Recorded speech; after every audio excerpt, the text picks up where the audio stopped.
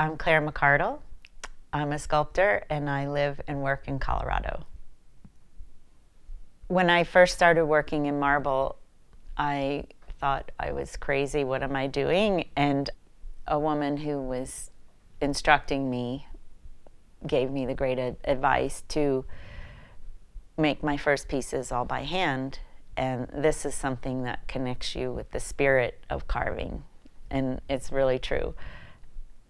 When I moved to Italy and I started working with the big diamond saws and removing material, everything about it was so fascinating to me. Um, the noise, the um, the physicality of it, cutting away the subtractive method of doing sculpture versus modeling and adding pieces of clay on.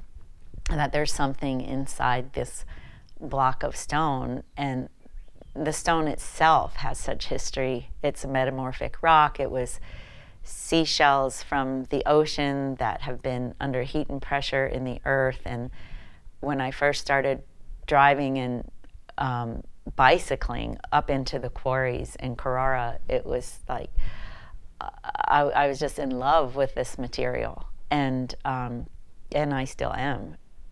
I've had many studios over the years, and particularly in Italy, when I go over to work marble and choose my marble in the quarries, I basically rent a space in a studio and I have access to the air hoses and the electric, and I work among other sculptors and and the artisans, the artigiani who are hired by the studio to work for other artists or make reproduction works. And so you are part of a, um, a group, there's a camaraderie amongst you that you're sharing in um, the noise and the dust and the creation, the creative process. Um, and that's very different from where I am now on a small working ranch in Hygiene, Colorado, where I have a studio that I'm protected from the elements indoors. Um, I have trees that my husband cuts down and provides wood for my wood stove, and I can work in the winter very alone. And that is when I go into my inner world and really create lots of models in clay. The clay is very fast and spontaneous, and those ideas come, I think, directly from my subconscious mind. So they're fast and um, something I can produce quickly in terms of ideas. And then from there, I can pick a piece that I might want to bronze or I might want to use it as a model to enlarge in a certain kind of marble.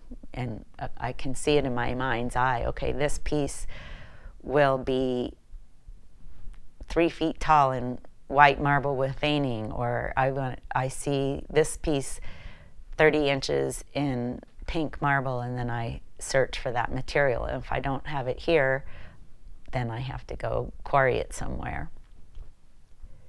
The title for the upcoming show is called Taking Wing.